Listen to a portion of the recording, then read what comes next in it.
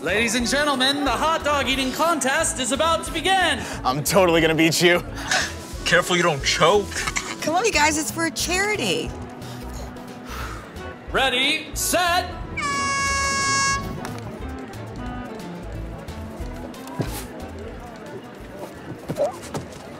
Ha ha, very funny. I don't think he's kidding. He's not kidding. Are you choking? Let me help you.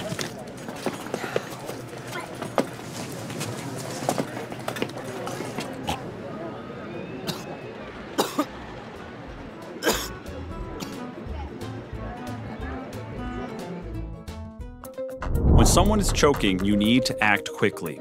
Look for the choking sign, one or both hands at the throat. Let me help you.